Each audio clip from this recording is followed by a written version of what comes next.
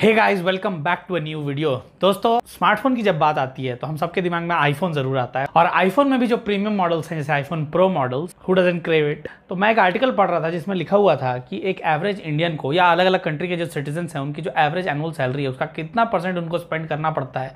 एक iPhone 14 pro खरीदने के लिए आज की डेट में। तो पता चला इंडिया में जो एवरेज एक इंडियन की एनुअल सैलरी है, उसमें से 23.4 परसेंट एक कॉस्ट होता है आईफोन 14 प्रो का। अगर एवरेज एनुअल सैलरी चार लाख रुपए है तो चार लाख का 23.4 परसेंट मतलब लगभग 25 परसेंट एक लाख रुपए होता है, जितना लगभग कॉस्ट होता है आईफोन 14 प्रो का। Where as in countries like Switzerland Singapore US UAE UK Australia यहाँ पे जो कॉस्ट है, वो वहाँ के सिटीजन के एवरेज एनुअल सैलरी का थ्री परसेंट से भी कम है। कनाडा में थ्री परसेंट है हांगकांग में 3.2 परसेंट है, पाकिस्तान में 104.1 परसेंट है, नाइजीरिया में 105.3 परसेंट है, वेनेजुएला में 59 परसेंट है, फिलीपींस टर्की में 34 परसेंट है। तो मेरे दिमाग में ये सवाल आया कि ऐसा क्यों है? तो इसके पीछे दो रीजन हैं। पहला, वहाँ के जो सिटीजन्स हैं, उनका एवरेज एनुअल सैलरी कितना है? वो अलग अलग फैक्टर्स पर डिपेंड करता है कि इकोनॉमिक अपॉर्चुनिटीज़ कितनी बिजनेसेस वगैरह कैसे चल रहा है, नौकरियाँ कितनी हैं तो ये सब पे डिपेंड करता है। दूसरा जो पॉइंट है, जो दूसरा फैक्टर है that is the cost of an iPhone अब ये अपने आप में बहुत इंटरेस्टिंग टॉपिक है। दोस्तों आईफोन मैन्युफैक्चर जिस तरीके से होता है ग्लोबली उसका तरीका यह है कि सबसे पहले प्रोडक्ट डिज़ाइन किया जाता है कैलिफ़ोर्निया में और स्विट्जरलैंड जर्मनी चाइना जापान ऐसे देशों में कंपोनेंट्स मैन्युफैक्चर किए जाते हैं आईफोन के। और ये सारे कंपोनेंट्स मैन्युफैक्चर होकर फाइनली ताइवान में आते हैं और ताइवान में आईफोन्स असेंबल होते हैं। तो फिर मेड इन चाइना क्यों लिखा रहता है? According to one China policy Taiwan is a part of China लेकिन पिछले कई समय से ऐसा हो रहा है कि ताइवान के साथ साथ अब असेंबली इंडिया में भी हो रही है और ताइवानीज बेस्ड कंपनीज़ जैसे फॉक्सकॉन विस्ट्रॉन पेगाट्रॉन ये कंपनी अपना मैन्युफैक्चरिंग प्लांट खोल के रखी हैं इंडिया में भी और इंडिया में भी असेंबली हो रही है आईफोन्स की। पर यहाँ पे मेजरली देखा गया था पहले कि आईफोन 11, 12, 13 ऐसे ही आईफोन्स असेंबल होते थे जो कि आने वाले टाइम में धीरे धीरे ऑब्सोलीट हो जाते हैं। तो क्योंकि बेस मॉडल्स ही आईफोन के यहाँ मैन्युफैक्चर होते थे जो प्रीमियम आईफोन हैं जो प्रो मॉडल्स हैं उनको बाहर से इंपोर्ट करना पड़ता था। अब बाहर से इम्पोर्ट हमने जैसे ही किया तो यहाँ पे जो डायनमिक्स है वो कुछ ऐसा हो जाता है। एप्पल ईगर है सेल करने के लिए उसको अपना मार्केट शेयर बढ़ाना है। यहाँ के यूज़र्स ईगर हैं आईफोन को खरीदने के लिए।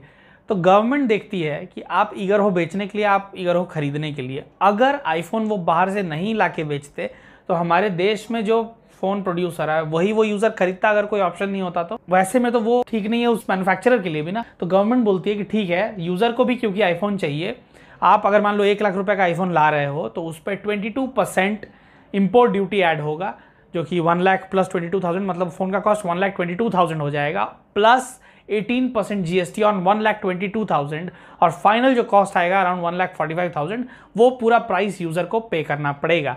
जिसके वजह से मार्केट शेयर भी थोड़ा कम हो जाएगा तो ये कंपनी के लिए भी थोड़ा मतलब उतना बेनिफिशियल नहीं होता इंपोर्ट ड्यूटी वगैरह ऐड होना। तो जब सिचुएशन ऐसा था तो बीच में जो हमारे कंट्री के बड़े बिज़नेस टाइकून्स हैं, जैसे टाटा ग्रुप उन्होंने एंट्री मारी कि जो Taiwanese companies Foxconn Pegatron Wistron जो जो असेंबल कर रही है आईफोन्स हमारे कंट्री के अंदर। अब से हम भी इसमें स्टेक लेना चाहते हैं उन कंपनीज़ का कि हम भी मैन्युफैक्चर करेंगे या असेंबल करेंगे। फाइनली टाटा ने तो पूरा टेक ओवर ही कर लिया कि अब हम पूरा मैन्युफैक्चर करेंगे यहाँ पे आईफोन को। तो दोस्तों, अगर असेंबली यहाँ हो रही है तो क्या आईफोन का कॉस्ट कम हो जाएगा? नहीं। ऐसा देखा गया कि भले ही क्योंकि यहाँ असेंबल हो रहा है आईफोन तो कहीं से इंपोर्ट नहीं करना पड़ रहा है मतलब इंपोर्ट ड्यूटी नहीं लगेगा।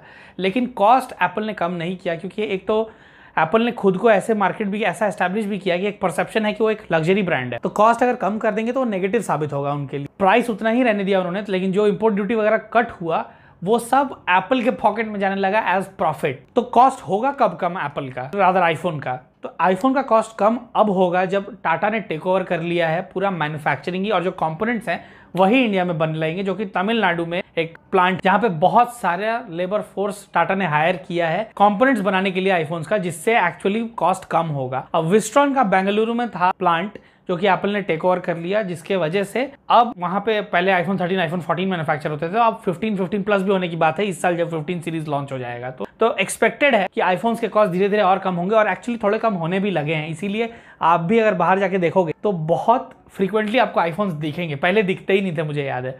लेकिन आज मैं अगर बाहर निकलूँ तो बहुत सारे नॉर्मल जगहों पर भी, अब एकदम हाई एंड आप वॉरली या बैंड्रा में जाओगे तो वो तो आपको पहले भी दिखते हैं। पर मैं नॉर्मल जगहों की बात कर रहा हूँ तो आईफोन की फ्रीक्वेंसी लोगों के हाथ में बढ़ गई है। These are the reason expected है कि धीरे धीरे और आईफोन का प्राइस कम होगा। फाइनेंशियल ईयर 22 23 में 7 बिलियन डॉलर का आईफोन मैन्युफैक्चर हुआ इंडिया में। ये ग्लोबल आईफोन मैन्युफैक्चरिंग का 7 परसेंट है, जो कि फाइनेंशियल ईयर 21 में सिर्फ़ 1 परसेंट था। इवन एप्पल का तो प्लान है कि जो ग्लोबल आईफोन मैन्युफैक्चर होता है, उसमें 25 परसेंट इंडिया में मैन्युफैक्चर हो। विस्ट्रॉन जो कंपनी है, उसने अपना लगभग 600 मिलियन डॉलर का वो प्रोजेक्ट था पूरा, जो आईफोन मैन्युफैक्चरिंग बेंगलुरु में प्लांट उन्होंने सेटअप किया था। उसको पूरा टाटा को दे दिया तो उन्होंने पूरा डाइवेस्ट कर दिया। अब उनका सच बिज़नेस नहीं है इंडिया में, लेकिन कंपनीज़ लाइक फॉक्सकॉन पेगाट्रॉन ये तो और ज़्यादा अपना बिज़नेस बढ़ा रही हैं।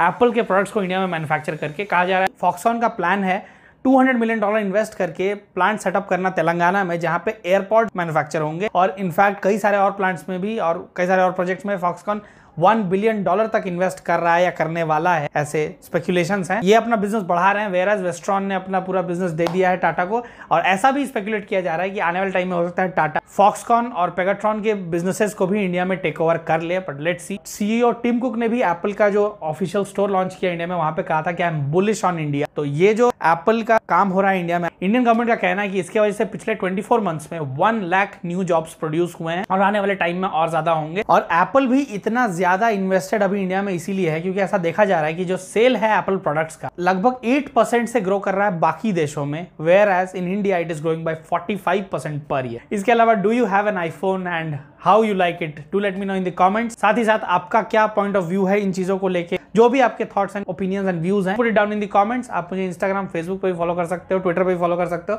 वहाँ पे भी कंटेंट पोस्ट होते रहते हैं. इसके अलावा, अगर आप कॉन्सेप्चुअल वीडियोस देखना चाहते हो तो फिर आप लेफ़्ट वाले प्लेलिस्ट पे क्लिक करके देख सकते हो. और अगर आप प्रोडक्ट रिव्यूज़ देखना चाहते हो तो राइट वाले वीडियो पे प्लेलिस्ट पे क्लिक करके देख सकते हो.